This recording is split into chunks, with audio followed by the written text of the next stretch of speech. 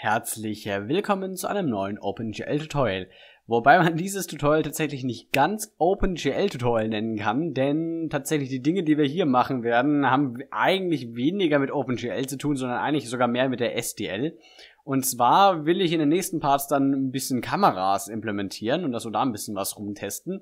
Nur dafür müssen wir natürlich irgendwie Input abfragen äh, über unser Programm. Und zudem möchte ich auch noch zeigen, wie wir hier den Swap-Intervall einstellen können, beziehungsweise wie wir V-Sync anschalten oder ausschalten können, beziehungsweise wie wir sogar Dinge wie G-Sync oder FreeSync anschalten können. Und äh, genau, das wollen wir einfach mal kurz machen. Und ich würde sagen, wir fangen auch direkt mit diesem Swap-Intervall an. Das ist eigentlich ganz äh, einfach. Das können wir auch einfach mal direkt hier oben machen. Und zwar ist es auch wieder so ein SDL-GL. Allerdings nicht Set Attribute, sondern das heißt ein bisschen anders. Das heißt SDL-GL-Set Swap Intervall. Und hier können wir jetzt eben den Intervall einstellen. Und da gibt es im Endeffekt eigentlich drei Möglichkeiten. Wir können 0 hier reingeben. 0 heißt so viel wie kein V-Sync. Das heißt, ähm, ja, der Rechner wird dann versuchen, alle Bilder, die irgendwie gerendert werden können, auch auszugeben, was dann im Endeffekt auch eben zu Screen Tearing und so weiter führen kann. Aus diesem Grund macht man gerne V-Sync an. Äh, V-Sync heißt im Endeffekt, dass der Rechner oder die Grafikkarte so lange wartet, bis der Bildschirm mehr oder weniger fertig mit Zeichen ist. Also zum Beispiel mein Bildschirm hier hat nur 60 Hertz. Ja? Das heißt, die Grafikkarte wartet auch immer entsprechend den Zeitpunkt ab, bis da auch wirklich ein neues Bild gesendet wird. Das heißt, die schaut halt, dass dann die Framerate vom Spiel tatsächlich auch eben genau diese 60 FPS sind. Und das kann eben helfen, zum primär eigentlich Screen Tearing zu verhindern. An manche Monitore haben aber nochmal eine zusätzliche Einstellung und zwar nennt sich das dann Adaptive Sync oder äh, Nvidia wäre dann zum Beispiel G-Sync oder AMD FreeSync. Und die haben eine sogenannte Adaptive Sync eben. Das bedeutet, dass dort die Framerate oder die Refresh Rate des Monitors tatsächlich an die Grafikkarte angepasst wird. Normalerweise ist es andersrum. Die Grafikkarte wartet auf den Monitor. So ist es aber im Endeffekt andersrum. Das heißt, der Monitor zeichnet immer sofort, wenn die Grafikkarte dann ein Bild parat hat. Zumindest bis zu einer gewissen Framerate. Und das kann eben helfen, dass man auch nochmal zusätzlich Stuttering und Tearing verhindern kann und es generell einfach nochmal ein bisschen flüssiger ist als äh, einfach nur mit V-Sync. Dementsprechend haben solche Monitore häufig auch eine höhere Refresh Rate von 120, 140, 240 oder was auch immer, wie viel Hertz. Gut, und dieses Adaptive Sync können wir eben mit minus 1 anschalten. Sollt ihr aber entsprechend nur machen, wenn es auch äh, supported wird. Das heißt, wenn ihr eben einen solchen Monitor habt, könnt ihr das hier zum Testen anmachen. Ansonsten für ein wirklich späteres Spiel müsst ihr abfragen, was der äh, Rechner entsprechend hat. Äh, werde ich jetzt hier nicht zeigen, das solltet ihr dann am besten selber nochmal äh, ausfindig machen. Da gibt's auch von der STL, soweit ich weiß, irgendeinen Aufruf. Ähm, aber hier jetzt erstmal für euch zum, zum Testen und rumexperimentieren, würde ich einfach auf das schalten, was ihr habt. Das heißt, entweder, wenn ihr einen FreeSync oder G-Sync Monitor habt, auf minus eins und ansonsten einfach auf eins. Das heißt, wir machen ab jetzt eigentlich auch immer ähm, V-Sync an, damit wir eben auch nur so viele Frames rendern, wie wir auch wirklich anzeigen können. Und so sparen wir uns im Endeffekt auch ein bisschen Leistung. Ja, wenn eine Grafikkarte theoretisch 1000 Frames pushen könnte, wir aber immer nur 60 anzeigen können auf unserem Monitor, dann können wir eben auch der Grafikkarte sagen, sie müssen nur 60 Bilder machen. Dann hat die auch weniger zu tun. Was auch schon mal nicht schlecht ist. So, gut, das war es eigentlich auch schon zum ersten Teil des äh, Videos. Wir können es ganz kurz mal ausführen. Da soll es eigentlich nicht sonderlich viel passieren. Äh, außer, dass wir eigentlich wieder das äh, Programm vom letzten Mal haben. Und ja, man sieht es hier, wie gesagt, nicht den Riesenunterschied. Aber jetzt ist eben auf jeden Fall V-Sync an. Kann sogar sein, dass es defaultmäßig an ist. Ich bin mir da gar nicht so sicher. Äh, wir können es auch gerne mal ausschalten und dann schauen. Ähm, ja, ist es aber für mich eben erstmal nicht so relevant. Damit können wir es eben an- oder ausschalten. Wir haben es das erstmal angeschalten und so werden wir es auch die nächsten Tutorials auf jeden Fall belassen. Vermutlich sogar die ganze Tutorialreihe durch. Gut. Wollen wir uns jetzt um Input kümmern. Und dazu mache ich tatsächlich diese Schleife hier mal ganz am, an den Anfang. Und zwar fragen wir in dieser Schleife den Input ab. Ja, also im Endeffekt äh, können wir hier Events vom Betriebssystem handeln. Und vom Betriebssystem kommen eben Events wie, okay, der Nutzer möchte gerne dies, äh, die Anwendung schließen. Da haben wir so ein STL-Quit-Event. Wir können aber auch eben Events für zum Beispiel Tastendrücke bekommen oder auch Resize-Events, wenn das Ganze äh, vergrößert oder verkleinert wird und so weiter. Kann also eine ganze Menge reinkommen. Und wir wollen uns eben jetzt außer dem SDL-Quit jetzt auch noch um den Tastendruck kümmern. Und das ist dann entsprechend ein SDL-Keydown-Event. Und das erklärt jetzt auch, warum ich das Ganze hier nach vorne gepackt habe. Und zwar ist es sinnvoll, den Input immer als allererstes abzufragen, damit man immer den neuesten Stand hat.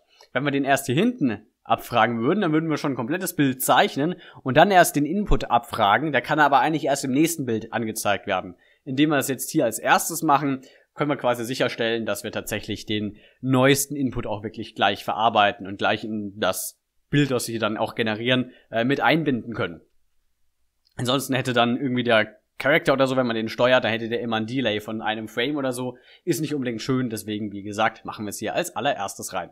So, hier drin wissen wir also eigentlich schon, dass es sich um ein STL Keydown Event handelt. Dementsprechend können wir das dann auch abfragen. Und zwar äh, auch wieder mit einer einfachen Abfrage. if event.key.keysym und wichtig, hier darauf sollte man nur zugreifen, wenn wir auch wirklich wissen, dass es ein Keydown-Event ist. Sonst könnten wir, könnte sein, dass wir in komischem Speicher rumlesen, der eigentlich gar nicht so gedacht ist, dass wir ihn auslesen, wie wir ihn auslesen. Also, kurz gesagt, abfragen und dann können wir auch darauf zugreifen. Es wird keine Fehler geben, wenn wir es hier nicht abfragen würden äh, davor. Wir würden ja nur sämtliche Events hier auf dieses auf diesen Speicherbereich zugreifen und da kann durchaus Müll rauskommen sogar ziemlich sicher. Deswegen, wie gesagt, wir fragen natürlich vorab, ist es ein Keydown? Und wenn ja, schauen wir, was für ein Key das ist. Deswegen hier Key Sym und dann Sym, das ist hier im Endeffekt so ein ähm, ja so ein spezieller Key Type, der eben in SDL so erstellt wird. Deswegen kann man hier mit SDLK unterstrich P können wir jetzt abfragen, ob tatsächlich hier die P-Taste gedrückt wurde, ob es oder ob es ein Event für die P-Taste ist. Wichtig ist, dass es ist ein SDL Key Down Event. Es gibt natürlich auch SDL Key Up Events. Das wird dann genau dann gefeuert, wenn der Key wieder losgelassen wird. Wir wollen ja aber erstmal nur mit dem äh, Key Down arbeiten. Und die machen wir jetzt folgendes. Und zwar wollen wir tatsächlich das machen, was ich schon im letzten Part so ein bisschen ähm, ja, mal erzählt habe, dass man das theoretisch machen könnte und wir wollen das einfach mal ausführen. Und zwar wollen wir unsere Matrizen hier wechseln, beziehungsweise unsere Projektion. Das heißt, wir wollen entweder Ortho oder Projection anmachen.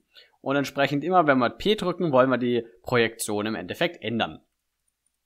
Und dafür brauchen wir hier oben, das mache ich einfach mal hier hin, einen zusätzlichen äh, Boolean, in dem wir reinschreiben, ob wir aktuell im Ortho-Modus zum Beispiel sind. Sagen wir einfach mal, das ist standardmäßig false, das heißt, wir sind standardmäßig dann in der äh, Projektion. Wir müssen die allerdings hier noch umändern oder umbenennen. Das heißt, wir brauchen hier eine neue Matrix, GLM mat 4 Ortho. Und dann haben wir hier zusätzlich auch nochmal Perspective. So, damit haben wir diese Matrizen hier jetzt gesetzt.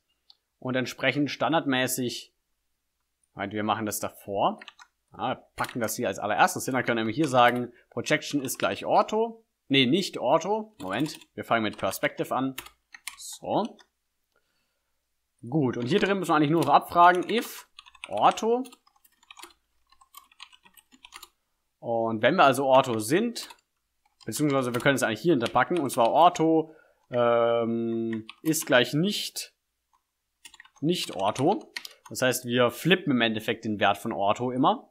Und wenn wir eben Ortho sind, dann wollen wir umstellen auf Perspective. Das heißt, wir sagen dann hier einfach Projection gleich Perspective. Und hier unten können wir dann entsprechend sagen, Projection ist gleich Ortho. Und das reicht eigentlich auch schon. Damit müsste es eigentlich schon laufen. Wir können jetzt mal ganz kurz schauen. Okay, da gibt es noch irgendwelche Probleme. Da habe ich irgendwas falsch gemacht. Achso, die heißt natürlich gleich, das ist natürlich eher schlecht. Ähm, Auto Projection. Und dann müssen wir es hier zuweisen. Huch, das ist ja irgendwie hier rumgesprungen, das wollte ich nicht. So. Gut, jetzt funktioniert das. Wir sollten natürlich die Variablen nicht gleich benennen, das ist in der Tat keine gute Idee. So, jetzt haben wir unsere Anwendung und können tatsächlich P drücken. Und jetzt sehen wir, dass hier irgendwas noch nicht ganz klappt. Na, also ich kann jetzt hier P drücken und wenn ich P drücke, wird es auch klein. Aber tatsächlich nur ganz kurz. Also das Event wird wieder ausgeführt. Irgendwas stimmt ja also noch nicht ganz. Ähm, ja gut, ich weiß, was nicht ganz stimmt. Ich frage mich, warum ich das hier genau so erstellt habe. Wir müssen natürlich abfragen, dass Event-Type gleich STL-Keydown ist. Ich war, glaube ich, im, im, Kopf irgendwie in einem Switch-Statement. Ich weiß nicht warum. Ja, wir müssen natürlich hier nochmal das Ganze so hinschreiben. Also wir prüfen den Event-Type und wenn der STL-Keydown ist, dann machen wir das Ganze. So. Jetzt können wir es ausführen und jetzt soll das auch funktionieren. Wir drücken P. Jetzt sind wir hier tatsächlich wieder in der orthografischen Ansicht. Das sieht man eben, wie gesagt, ganz gut dadurch, dass dieser Strich hier immer äh, gerade ist, immer horizontal ist. Wenn ich jetzt wieder umstelle, sind wir jetzt wieder in der perspektivischen. Das heißt, dass wir jetzt hier schön, äh, ja, dass dieser Strich eben nicht mehr genau gerade bleibt, sondern nach vorne und hinten geht, mehr oder weniger. Das heißt, jetzt haben wir eben wieder den Tiefeneffekt drin. Hat man im letzten Part schon gesehen, nur jetzt können wir es eben hier auch auf Tastendruck umstellen. Wir können es auch hier gedrückt lassen, dann switcht natürlich ganz schnell hin und her. ist auch ganz witzig. Und äh, genau, das wäre es tatsächlich eigentlich auch schon mehr oder weniger für diesen Part. Wie gesagt, ist eher Vorbereitung für den nächsten Part. Ich kann auch eine Sache zeigen, auch wenn wir die jetzt nicht nutzen werden, aber wenn ihr euch vielleicht fragt, okay, wenn ich immer überprüfen will, wie zum Beispiel ist die Alt-Taste gerade gedrückt, das geht nämlich tatsächlich. Und zwar können wir dann hier drin zum Beispiel überprüfen, wir können zum Beispiel sagen, wir wollen das nur machen, wenn auch äh, irgendwie, ja, die, die Alt-Taste zum Beispiel drückt, das war die Steuerung-Taste, nehmen wir vielleicht die lieber. Dann machen wir einfach Event key.keysym.mod. Mod sind quasi die Modifizierer. Das sind eben Tasten wie Alt, Steuerung und so weiter oder Shift und was auch immer. äh, sorry. Und dann können wir das entsprechend hier abfragen.